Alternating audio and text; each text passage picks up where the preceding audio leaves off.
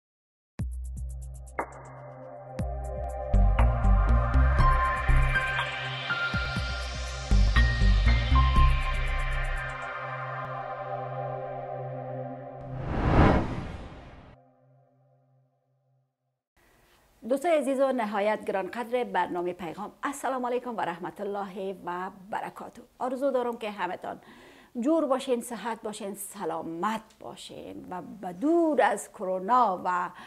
سایر آفات روزگار باشین با سپری شدن یک هفته من هم پشت شما دق شدم و واقعا وقتی که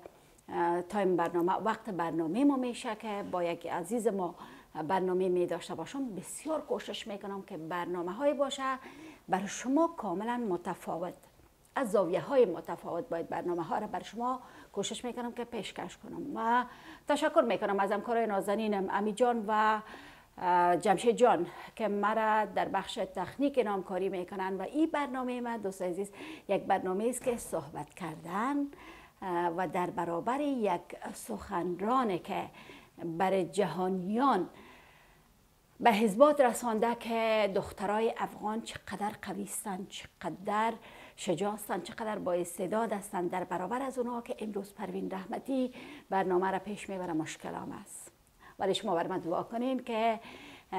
تا آخرین دقایق برنامه من بتانم که تحت تاثیر قرار نگیرم بله شاید شما بگین که پروین مهمان برنامه را بر ما معرفی کن مهمان برنامه ای هفته پیغام خواهر بسیار نازنین ما محبوب جان اخترزاده هستند محبوب جان اخترزاده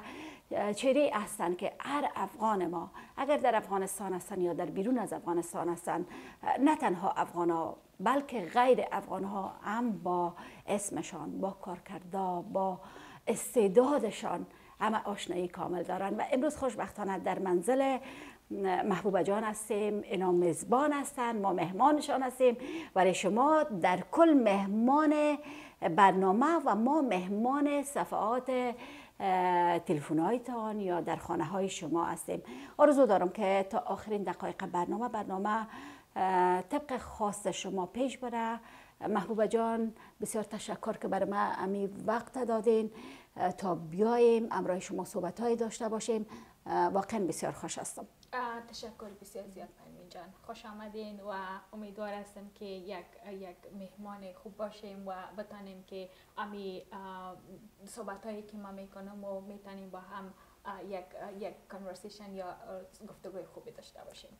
انشالله به یقین کامل میتونم به خاطر از که خب سر شما خود صد فیصد اطمینان دارم ولی ای که چند فیصد من بالای خود باید مطمئن باشم که در برابر شما صحبت میکنم یک مشکل است محبوبه جان نازنین روال برنامه ما امی قسم است که مهمان برنامه ما در شروع خود معرفی میکنه که محبوبه اخترزاده کی است تشکر بسیار زیاد قسم که گفتین محبوبه اخترزاده هستم در افغانستان به دنیا آمدیم و در همونجا کلان شدیم بعد از تحصیلات ابتدایی خود به ایالات متحده امریکا آمدم در یکی از پنتون ها درس های خود را به اتمام رساندیم در انفارمیشن تکنولوژی یا تکنولوژی معلوماتی و مدیریت اداره بعد از کار کردن در پهنتون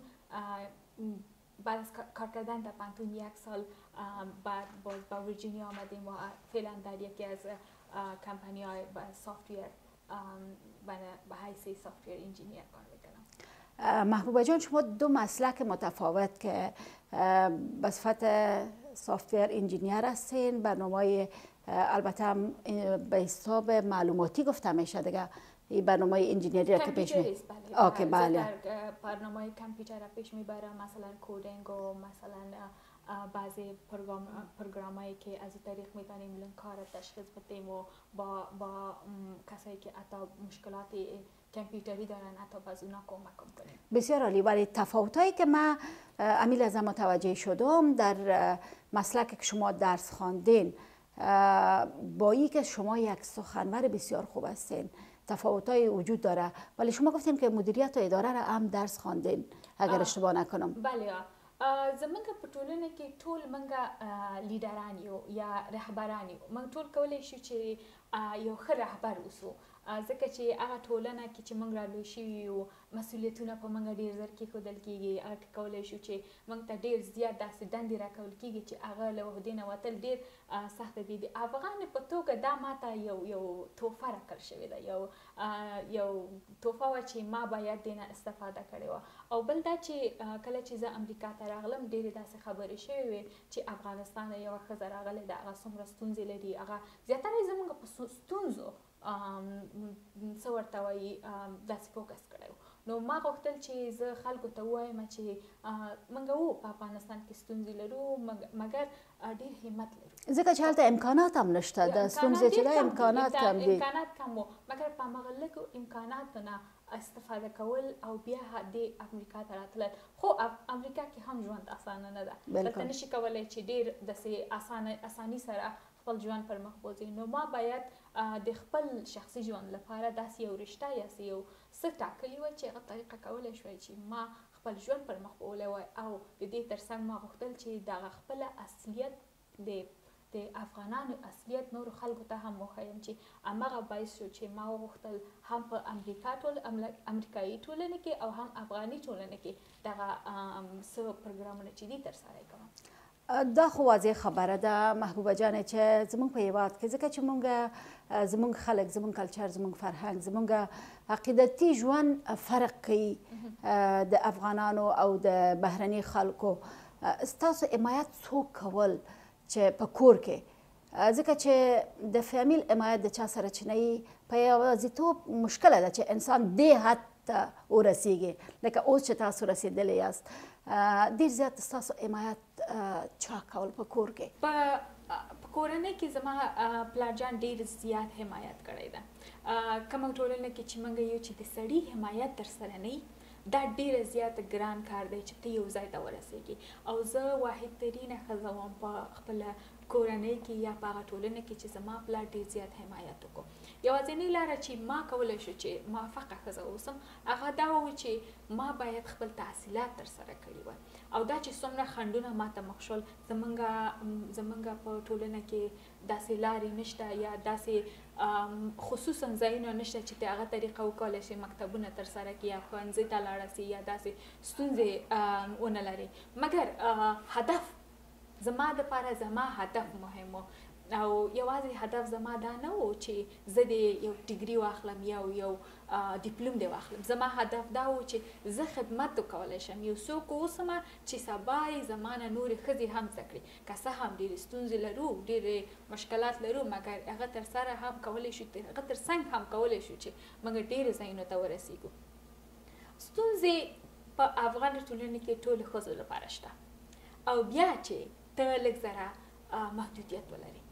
هغه کې به بیخي درته زیاتیږي نو زما د پاره زما پلارجان ډیر زیات ښه حمایت کړی دی ما سره ډیره مرسته کړې ده او بل دا چې ما خپل هدف ته غوښتل ځان ورسوم او یوازینۍ لاره چې ما کولی شم خپل هدف ته ورسوم هغه د تعلیم او د زده کړې لاره وه وه واقعا اگر امایت خانواده ها نباشه ما نمیتونیم دوستای عزیز خب هدف خود می داشته باشیم درست است شاید به هدف خود برسیم ولی یک دلهوری با خود می داشته باشیم یک پشتبانی با خود می داشته باشیم امایت می داشته باشیم پس مثلی می باشه که ما مانند یک فولاد آب دیده ما میتونیم که حضور پیدا کنیم در بین مردم و در بین جامعه که محبوبه اخترزاده هم از امو فولادای آب دیده است که امروز صدای زن افغان است صدای دختر افغانه برای جهانیان بلند میکنه امروز محبوبه جان افتخار بزرگ نه تنها برای فامیلش برای ما که هم جنس است بلکه برای تمام افغانستان است محبوبه جان ای که شما در حضور داشته هزارها نفر صحبت کردین سخندانی کردین امو لحظه که شما روی استیج می بودین شنونده های شما غیر افغان ها بودن چه احساس براتان رخ میداد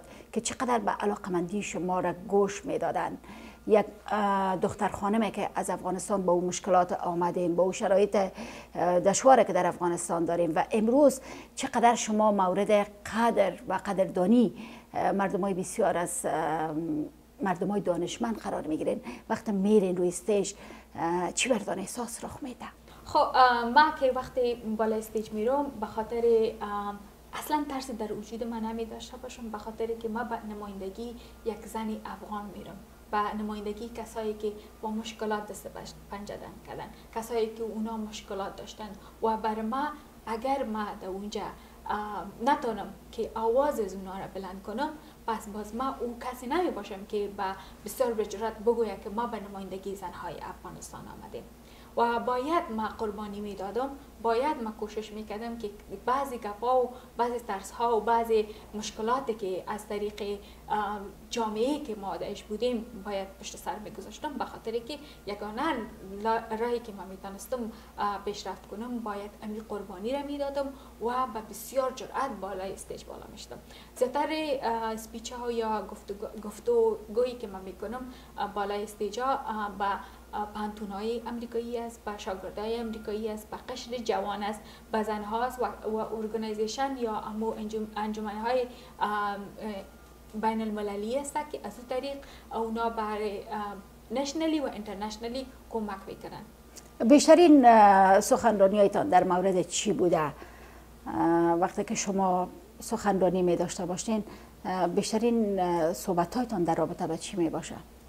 بیشترین صحبتهای ما درباره تعلیم و د زده کړې په هکله ده چې هغو څنګه ما زده کړه وکړه په افغانستان کې زده کړې د ښځو لپاره ډېرې ستونزمنې دي څنګه ما وکولای شو چې زه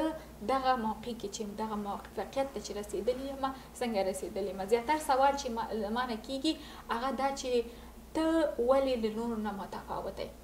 دغه سوال زما نه ډېر زیات شوی او د دې جواب کې همیشه زه وایم زما د کورنۍ حمایت ما سره و او زه دېره تشویق یم. زه کولای شم چې مونږ چې ذهن په هر څه کې کېږدو همغلته رسېږو نو هدف ټاکل او هغه چې چېرته غواړې ورسېږي حتماً ورته رسېږې. او د دې نه هم باید انکار ونه کړو چې ستاسو استعداد دا خو د هر څه نه مهمه ده ځکه چې دا استعداد خدای پاک تاسو ته درکړې ده چې نن ماشاءالله تاسو دې درجې ته رسېدلي یاست. محبوبه اخترزاده د خپل ژوند څخه څه غواړي تر لاسه کړي؟ زما ژوند اوس زیاترو جینکیو او هغه ښځو ته وقف شوی دی چې هغو اوس امید نه لري، ستونزې لري او زه غواړم چې یو الګو هغه نجونو ته اوسم چې هغو ته یو امید ورکړم. هغه زما په کتو نور هم تشویق شي او دا به زما زیاتره د ټکنالوژي سکیلونه چې زه لرم دا د ټکنالوژي ځانګړتیاوې چې زه لرم هغه له طریقه وکړم او دا چې دا څنګه تر سره کوم غواړم چې مستقیم د خپلو انجونو او ښځو سره د ټکنالوژي لارې کار وکم مګر د تکنالوژي او د تخنیک د لار څخه دا نن سبا په افغانستان کې مشکل نه ده ځکه چې امکانات ډیر محدود دي او زمونږ خويندې او زمونږ جونې چې دا هغه د ستونزې سره خو مخامخ دي مګر دا ټکنالوژي امکانات هغه سره نشته تاسو څنګه کولی شئ چې خپل پيام د ستاسو آرزو چې ده د تکنالوژي د لارې څخه هغو ته ورسوئ؟ په زمن کې چې زه غواړم له نجونو سره کومک وکړم د همداسې غواړم تکنالوژي کې هم کار وکړم د افغانستان لپاره او دا چې زه څنګه غواړم دا غواړم چې دغه لوړ پوړو ځایونو نه شروع کوم چې خ خ انټرنیټ ورته مهیار کو ضرور نه دی چې قیمت وي داسې انټرنیټونه شته چې ډیر ارزان یې خو کولای شي چې کوم معیاري سکلز ته باید استعمال کړي چې هغه طریقه ته وکولای شي یو ښه انټرنیټ لاسته راوړي بل دا چې منګه ډیرې تخنیکی خزه چې هغه په سافټ ویر انجینرینګ کې یا په کمپیوټر کې په دې کې ډیرې زیاتې تخنیکی خزه اته هیڅ لرو هم نه نو زه به اولینه ښځه وکولی شم چې تخنیک کې پوهیږم او په ټکنالوژي پوهیږم او هغه اول به پې کار پې وکم په ټکنالوژی به کار وکړم او بیا به هغه ښځو ته مهیا کړم دا فسیلیټی چې هغه له طریقه وکولای شي هغه هم پرمختګ وکړي داسې ډیرې ښځې لرو چې هغه ډیر زیات لایقې ښځې دي خو هغه ته دا موقع نه ده برابر شي لکه لاسی کارونه کوي لکه بعضې تجارتي کارونه کوي لکه غواړي چې یو بل سره خبرې وکړي تر څو چې د تجربه حاصل کړي مګر ستونزه نن دا دی چې هغه نه لري دغه کار یو یو تیلیفون حتی عادی نه لری چی هغه وکولی شی یو بل ته زنګ ووهی او دغه زما هدف دی چی راتلونکی کی تر سره کوم افغانستان لپاره. انشاالله محبوبه په راتلونکی پنځه کالو کی خپل ځان څه مقام ته ګوری یعنی څه مقام ته ګوری خپل ځان. په راتلونکي پنځه کلو کې زه غواړم چې دغه خپل ماسټري تر لاسه کړم زیاتره مې اوس په په خپل کارونو توجه کړې ده او غواړم چې یو بزنس خلاص کړم یو تجارت شروع کړم او کولای شم چې د انلاین له طریقې اوس لپاره خلاص کړم او که څوک غواړي چې ما سره همکاري وکړي ډېر ویلکم دغه ښه راغلاست به ورته هم زه د کولی شي چې ما سره په تماس کې شي او خبرې را سره وکړي او همداسې غواړم چې یو یو موقع اوس هم هغه ښځو ته چې هغو نه کولای شي چې نورو خلکو سره په تماس شي یا د نورو خلکو له طریقه هغو سره زه په تماس شم او ښځه یو ښځه درک کولای شي زما په نظر او زما لپاره به دا یو ډیره ښه موقع وي څه رقم کومک یا څه رقم همکاري تاسو غواړئ د خپل عزیزان څخه تاسو هم دا اوس ویل چې موسول کم تاسو ښه راغلاست یا ښه راغلی چې یعنې ستاسو د همکاري دپاره څه رقم همکاري تاسو کولی شئ همدا اوس زموږ د پروګرام د لارې خپل دوستان سره شریک کړي چې څه رقم همکاري بله و زه زما هدف دا دی چې زه نه غواړم تا ته یو کار لاس کې درکم چې هغه لکه زه نه غواړم درته دیګ پوخ کړم چې ته هغه وخورې، زه درسره مرسته کوم چې دغه ټول مواد څنګه جوړ کړې او هغلته چیرته ورسوې. که غواړې که یو یو ویب سایټ په نظر کې د د بیلګې په توګه لرې یا غواړې چې یو تجارت تر مخه کړې، زه درسره همکاري کولی شم چې ته هغه هدف ته ورسیږې. زه ډیرې ډیرې نجونو سره ما کومک کړی دی، د امریکا د پوهنتون سیستم ډیر زیات ستونزمن دی. هغه هغه باندې پوهیدل هغه کې هغه سلیبس اخیستل هغه څنګه یو یو میجور انتخابول دغه ټول هغه ستونزې دي چې زمونږ افغانان انجونی افغانان خلک ور سره ډیر زیات ستونزې لري او ما داسې ډیر جنکو سره کومک کړی دی چې هغه هغه خپل هدف ته برابر کم او هغه هر څوک چې دې مرستې ته ضرورت لري زه یې په خدمت کې یم. د کوم لارې څخه تاسو پیدا کولی شي دا هم ډیره مهمه ده. زه په په سوشل میډیا کې یم ایمیل لرم کانټکټ لرم او زما نوم په ګوګل کې اته کولی شي چې پیدا کې نو زما پیدا کول دومره ګران کار نه دی. دې کې خو شک ځای نشته واقعا ګران لیدونکو که تاسو غواړئ او کوم مرسته تاسو ضرورت وي نو کولی شئ چې ډایرکټ تاسو په خپل لاړ شئ د محبوبه جان اخترزاده په فیسبوک پانه باندې یا ایمیل آدرس باندې څنګه چې دیو په خپل ویل د دیو پیدا کول ډیر اسانه کار ده ما چې پیدا کړ تاسو نو پیدا کولی شئ محبوبه جان تاسو د پخلی یا از پختن صحبت کردین که یعنی غذای آماده را به دهن کسی بتن بخورن نگفتین که د آشپزی چطور هستین در به خاطر که مسافرت بر تمام چیزا را یاد میته اینا میتانی که بسیار چیزایی می باشه که حتی فکر نمی کنی من وقتی خانه را نو گرفتم اصلا فکر نمی کنم من چی ضرورت دارم تا که ضرورتش پیش آمد و خوب استم خودم دیگ میکنم خودم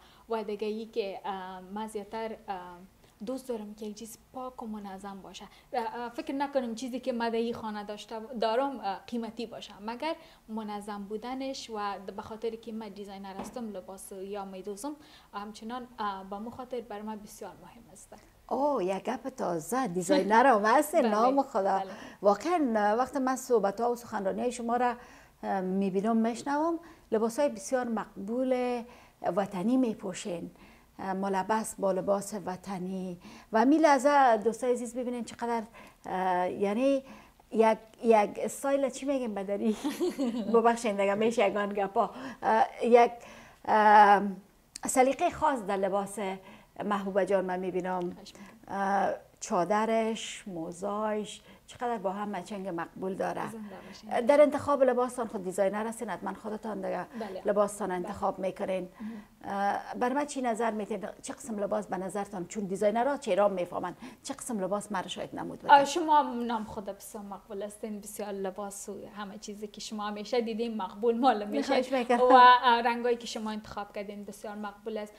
و هدف ما از لباس همیشه که ما زیاتر به اسپیچ و به مو گفتگویی که میروم لباس افغانی میپوشم به خاطر که اون, اون نمایندگی یکی از کشورهای ماست و دیگه ای که امو امو رنگ های مختلف اینو شادی که در, در بله. رنگ افغان است مثلا سبز سرخ گلابی هر رنگ های بسیار شاد داره و اونمو توجه کس جلب میکنه با وجود که یک کشور جنګ زده آمدې بیا هم کولی شو چې یعنی ډیر زیات خوشحالی هغه رنګونو کې موږ ډیره زیاته خوشحالی لټولی شو او زما دپاره ډیره زیات مهمه ده چې خپل افغانی جامه وکړم. او شخصا زما دپاره او ستاسو د نورو زموږ او ستاسو د نورو هیوادوالو دپاره دا ډیر مهمه خبره همدا هم ده چې ټول خلک موږ افغانان یعنی خدای نخواسته د تروریست په نامه اکثرا مونږ پیژنی چې یعنی افغانستان د وحشت او دهشت ملک دی مګر هغه اوس هغه ته ثابت شوی ده چې افغانستان ستاسو غوندې خلک لري ستاسو غوندې پیغله لري ستاسو غوندې ځوانان لري نو محبوبه اخترزاده د هغې څه هیله ده چې د افغانستان دا خو تاسو ویل چې ټکنالوژي په برخه تاسو کومک وکړي مرسته وکړي یعنی راتلونکي پلانونه چې سره رقم خلک د ټکنالوژي نه په اسانه طریقه او کم مصرف استفاده کولی شي آیا غواړي چې یو لیډر هم شي د ما په نظر رهبریت ما وخت غوره کړی دی او زه فکر کوم چی زه یو رهبره یم او دا رهبریت ته به زه ادامه ورکړم خو دا چی ما نور خلک وپیژنی او دی یو مثبت رهبر په توګه افغانستان کی ثابته شم ولی نه په سترګو او په رښتیا چې اوس هم رهبر یاست ځکه چې ستاسو د خبرې څخه ستاسو د تجربې څخه ستاسو د استعداد څخه دا ټول ته پته ولګیده چې تاسو واقعا اوس هم یو رهبر یاست که محبوبه اخترزاده د خیر سره واده وشي نو غواړي څه رقم یو مور وي ډیر د سیاست مدار مور کنه تاسو په خپل وای زه نه پوهیږم خو په دومره پوهیږم چې هر هغه ماشوم چې زما په ژوند کې یي په تعلیم به سمبالي په تربیه به سمبالي او یو ډیر ښه خدمتګار په خپل ټولنې لپاره قدرمنو عزیزانو زړه مې نه کیږي دې ښایسته کور نه لاړ شم او دومره ښایسته منظرې زمونږ خواته دي دلته دا بالکل پنتاګون دی زما په خیال ستاسو خط سات مو تیر دي نو امنیت هم دي کله کله ورته ګوري او دا مهمه خبره ده چې میلمانه دلته راشي نو بیا ځله نه کیږي چې پاسې ګلاړ شي والله رښتیا هم خو خو ډیر الویز ویلکم مننه مننه ښه قدرمنو عزیزانو پوښتنې ډیر دي خو د پروګرام ټایم هم همدومره دی چې باید موږ خپل میلمه یا میلمنه زیاتره نه په عذابوو آخري سوال په هیڅ ستاسو پیام څه دی زما پیغام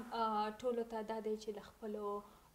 خپلو لکه که هغه يې پارټنر يي، که هغه يې خاوند يي، که هغه کورنۍ يي، که هغه ورور يي، که هغه خور يي، د يو بل نه حمايت وکړئ، خپل تعليم او خپل زده کړه پر مخ بوځئ، هدفونو ته ځان ورسوئ، تر څو وکولای شو چې يو اباد او ښکلی هېواد ولرو. او ستاسو د ښکلې خبرې څخه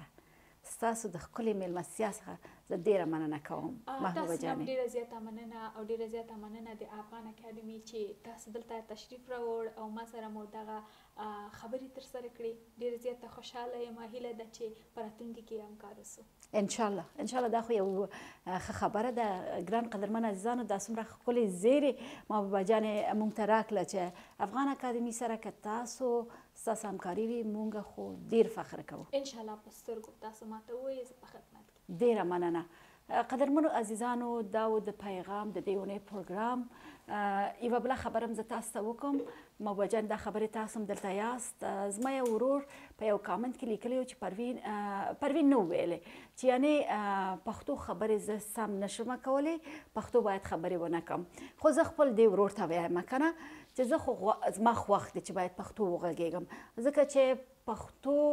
ژبه زما یو سترګه او دری بل ژبه بل سترګه او ازبکی ازارګی دی چې دا زما زړه زما روح زما د وجود غړي دي نو زه خپل جرأت له لاسه نه ورکوم که زه پښتو خبرې کوم پلیز ما تشویق کړئ چې ان شاء الله ښه شم په خبرو په پښتو خبرو کولو کې خواهش میکنم در پشتوی شما از پشتوی من کرده بسیار خوب است و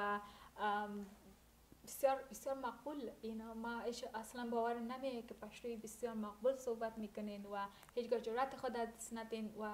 همچنان بعضی